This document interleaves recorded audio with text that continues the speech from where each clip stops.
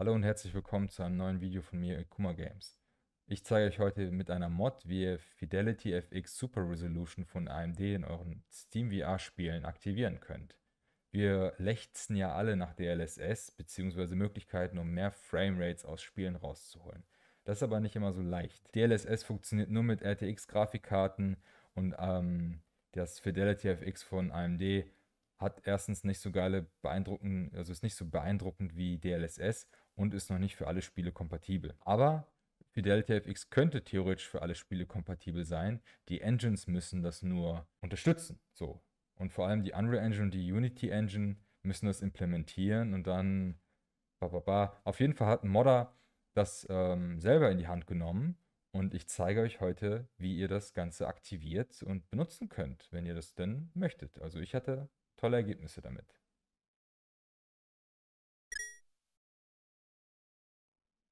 Auf Reddit habe ich diesen Thread gefunden. Von F. Holger oder Folger. Der schreibt hier nämlich, I created a mod to enable AMD's Fidelity FX Super Resolution in Steam VR Games. Und da dachte ich, okay, cool, das äh, könnte man doch mal ausprobieren. Er hat hier einen GitHub-Link. Dadurch, dass er das bei GitHub gepostet hat, war ich erstmal zuversichtlich, okay, das Ding ist Open Source. Ähm, kann jeder reinschauen. Vielleicht ähm, ist das Ding relativ sicher. Habe ich für euch ausprobiert und äh, ich konnte mir jetzt nichts Merkwürdiges feststellen. Ähm, müsst ihr aber selber wissen, Disclaimer, alles, was ihr hier bei mir gesehen habt, müsst ihr nicht nachmachen, könnt ihr aber nachmachen. Ähm, ich präsentiere euch nur meine Ergebnisse und ähm, wie ich das Ganze hier gemacht habe. So, ähm, funktioniert nur bei den Steam VR Games, beziehungsweise muss, es über, muss das Spiel über die OpenVR-Schnittstelle laufen. Und das ist ja bei äh, Steam VR der Fall. Hier habt ihr den OpenVR FSR.zip Ordner. Den müsst ihr runterladen. Einfach hier draufklicken. Dann öffnet sich das Fensterchen und dann ladet ihr das Ganze runter und entpackt das Ganze. Dann habt ihr hier einen Ordner mit zwei Dateien drin den OpenVR API DLL und OpenVR-Mod. Diese beiden Dateien müsst ihr in das jeweilige Spiel einfügen. Also dafür müsst ihr erstmal den Installationsordner finden. Dafür geht ihr bei Steam einfach auf die Bibliothek und dann hier zum Beispiel The Walking Dead Saints and Sinners. Das habe ich nämlich auch getestet und auch vor allem bei diesem Spiel möchte ich so viel Framerates bei möglichst guter Qualität rausbekommen. Da geht ihr hier auf Verwalten, lokale Dateien durchsuchen und dann habt ihr hier den Ordner. Da müsst ihr jetzt diese Datei finden, die OpenVR API DLL. Die habe ich gefunden im Engine-Ordner, Binaries, Third Party, OpenVR und dann in diesem Ordner hier und dann in diesem Ordner hier. Und da haben wir die Dateien. OpenVR API DLL und äh, diese Datei ist eigentlich nicht da. Die habe ich da schon eingefügt gehabt. So, ihr habt nur diese Datei und das ist die Originaldatei. So, das könnt ihr hier auch sehen an der Größe. Die äh, Mod ist 221 Kilobyte groß und das Original hier ähm, ein bisschen größer. Diese hier, also die Datei aus dem Spiel, benennen wir um ähm, der Modder empfiehlt das, beziehungsweise ich weiß nicht, ob das äh, funktionelle Gründe hat oder einfach um ein Backup zu speichern. Man soll die openvr-api.oric.dll nennen. Habe ich getan. Und dann könnt ihr diese beiden Dateien einfach hier einfügen. So, damit ist die Mod auch schon aktiv. Hier in der Config-Datei könnt ihr dann verschiedene Parameter einstellen. Das Ganze öffnen wir und dann seht ihr folgendes. Hier, FSR, Fidelity FX Super Resolution quasi, Enable AMD Fidelity FX Super Resolution, Enabled True. So, das Ganze ist jetzt quasi aktiviert. Jetzt gibt es hier verschiedene Parameter. Der beschreibt hier quasi, wenn man eine Zahl unter 1 nimmt, dann ähm, downsamplet er das Ganze und samplet das dann wieder hoch im Fidelity FX Super Resolution Stil, wie auch immer das dann funktioniert wenn man eine Zahl über 1 ähm, eingibt, das habe ich jetzt noch nicht ausprobiert, ähm, dann versucht er das Ganze quasi abzusampeln. Also Habe ich nicht ausprobiert. Der äh, Nutzen ist ja quasi, dass man eine Auflösung, also eine niedrigere Auflösung nimmt und die dann so weit hoch skaliert wird, ohne dass man ähm, Qualitätseinbüßungen hat. Ne? Das ist ja eigentlich der, der Sinn von Fidelity FX und von DLSS. Von daher ähm, will ich einfach mehr Frames aus dem Ganzen rausbekommen. Und hier unten habt ihr den Bereich Render Scale und der steht hier bei 0,75. Ich habe mich jetzt erstmal an, ähm, also das könnt ihr einfach ausprobieren, welche ihr nehmen wollt. Hier sind ein paar Voreinstellungen. Ich glaube, das sind die standardmäßigen von AMD. Hier AMD Presets für Ultra Quality, Quality, Balance und Performance. Ich habe drei Spiele getestet und äh, werde die euch gleich noch zeigen, welche Ergebnisse ich da gesehen äh, bekommen habe.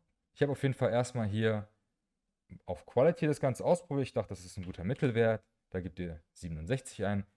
Tune Sharpness habe ich so gelassen, ehrlich gesagt. Ähm, ich weiß nicht, was das macht. Also die Schärfe einstellen. Ich habe das erstmal so gelassen, ähm, weil es mir da letzten Endes nur um Super Resolution ging. Das Ganze speichert ihr und dann sollte das Spiel auch schon äh, Fidelitive X aktiviert haben. Und ich zeige euch jetzt in den drei Spielen ähm, The Walking Dead, Propagation VR und was hatte ich noch? Pavlov. Diese drei Spiele. Ihr werdet gleich starre Bilder sehen. Also ich habe das Ganze so aufgebaut, dass mein VR-Headset ganz still steht und mit dem ähm, OpenVR-Input für OBS habe ich das Bild aus der Brille gezogen quasi. Also ich habe kein extra Programm genommen, nicht das von Microsoft, ähm, nicht das von Steam, weil das alles Ressourcen frisst, sondern das, was direkt, also das gerenderte Bild in der Brille, habe ich in OBS eingefügt und dann den äh, FPS-Counter quasi daneben gelegt. Damit sollte ich ein möglichst sicheres Bild haben und ich habe die Kamera kein Stück bewegt. Also, ich, also die, das VR-Headset. Ich habe das Ganze positioniert, aufgestellt und dann immer gleich gestartet, damit ich möglichst immer das gleiche Ergebnis habe, um wirklich zu sehen, die Einstellungen, die ich jetzt hier bei der Fidelity FX mache, haben die überhaupt einen Effekt und wenn ja, welchen? Und ähm, ich bin da zu ganz guten Ergebnissen gekommen tatsächlich. Und ich muss sagen, klar, Fidelity FX verbessert nicht die Grafik oder so, aber die Performance-Verbesserungen, die ich dann im Nachhinein hatte, sind äh, signifikant. Also das bringt was, wirklich. Also ich habe auch innerhalb der VR-Brille, und ihr werdet es auch im Video sehen, keine ähm, Grafikeinbußung gesehen. Vielleicht ein bisschen, bisschen schwammiger. Also ich habe das Bild in einer so guten Qualität, wie ich konnte, äh, für euch präsentiert. Ihr könnt da ranzoomen und nach irgendwelchen Unterschieden sehen. Und das sind Videos. Bei Pavlov zum Beispiel sieht es ziemlich starr aus, weil man da eben nichts passiert. Aber ihr seht ja an der Framerate, da tut sich was. Aber das ist kein Bild, ne? Das, ist, äh, das sind wirklich Videos, die ich aufgenommen habe, direkt aus der Brille.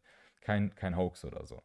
Und ähm, ja, bei Propagation VR habe ich da, da ist halt Bewegtbild auch zu sehen und da seht ihr dann, ähm, dass ich da einiges an Frames sparen konnte.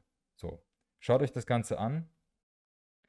Zum Aufbau meines Tests ist vielleicht wichtig zu wissen, welche Einstellungen ich vorgenommen habe. Also das Ganze habe ich mit einer Reverb G2 getestet in voller Auflösung, also 100% Supersampling ähm, in Steam VR. Ich habe auch in der Brille nichts rumgeschraubt und auch im Spiel selbst ist alles auf 100%. Nicht auf Ultra, also bei The Walking Dead habe ich ähm, glaube ich, alles auf Mittel gehabt, ähm, quasi Standard gelassen. Aber in Propagation VR und in Pavlov VR habe ich ähm, alles auf Maximum gehabt. Das war auch standardmäßig so eingestellt. Und wie gesagt, alles auf 100%. Das ist ähm, für meine Grafikkarte, ihr werdet es auch sehen, beziehungsweise seht es ja jetzt auch hier im Hintergrund, äh, hatte meine Grafikkarte zu knabbern. Ne? Ich habe eine 5700 XT, eine 5800X CPU Jetzt aber zu den Ergebnissen.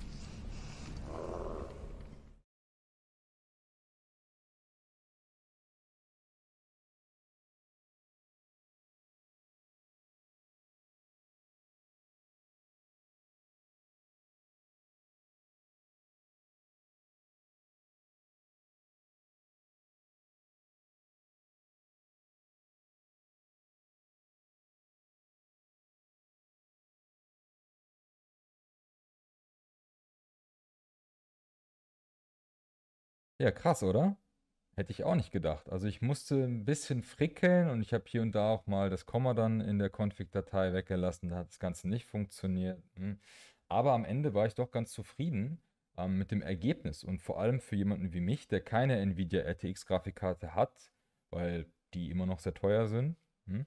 Ähm, mit meiner 5700 XT ging das Ganze super. Also wenn ihr eine ähm, GTX Grafikkarte noch habt oder eben eine AMD Grafikkarte, dann probiert es doch einfach mal aus, würde ich sagen.